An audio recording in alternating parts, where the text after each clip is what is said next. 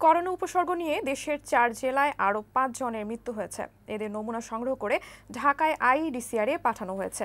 এদিকে করোনা রোগী পাওয়ায় নতুন করে আরও তিনটি জেলা লকডাউন করেছে প্রশাসন। পাশাপাশি সামাজিক দূরত্ব বজায় রাখতে সেনাবাহিনী ও আইনশৃঙ্খলা রক্ষাকারী বাহিনীর টহল অব্যাহত রয়েছে। সংবাদদাতাদের পাঠানো প্রতিবেদন জানাচ্ছেন অরিসুল ইসলাম। গত এক মাস ধরে দেশে করোনা সংক্রমণের পাশাপাশি জ্বর ও সর্দি কাশিতে মৃত্যুর ঘটনা বেড়েই চলেছে। বিভিন্ন জেলা থেকে প্রতিদিনই আসছে আক্রান্ত ও মৃত্যুর তথ্য। বুধবারও ময়মনসিংহে করোনা উপসর্গ নিয়ে উপজেলা প্রাণী সম্পদ কর্মকর্তা সহ মারা গেছেন দুইজন। এর মধ্যে ময়মনসিংহ মেডিকেলে মারা গেছে একজন।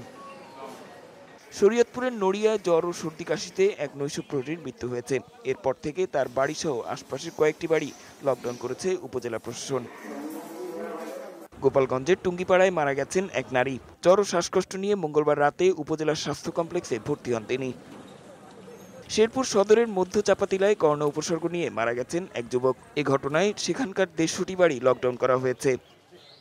এদিকে নতুন করোনা রোগী শনাক্ত হওয়ায় বুধবার নওগাঁ, শরীয়তপুর ও রংপুর জেলাকে লকডাউন করেছে প্রশাসন। এসব জেলায় কাউকে ঢুকতে বা বের হতে দিচ্ছে না আইনশৃঙ্খলা রক্ষাকারী বাহিনীর সদস্যরা। অন্যদিকে লকডাউনেও গোপালগঞ্জের বিভিন্ন মোড়ে চায়ের দোকান ও বাজারে অবাধে চলাচল করছে মানুষ। একই চিত্র কক্সবাজারের বাজারগুলোতেও।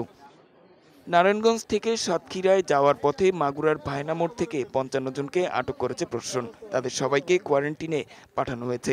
আর নির্দেশনা অমান্য করায় নোয়াখালীতে পঁয়ত্রিশ জনকে অর্থদণ্ড দিয়েছে প্রশাসন। ডেস্ক রিপোর্ট, বৈশাখী সংবাদ।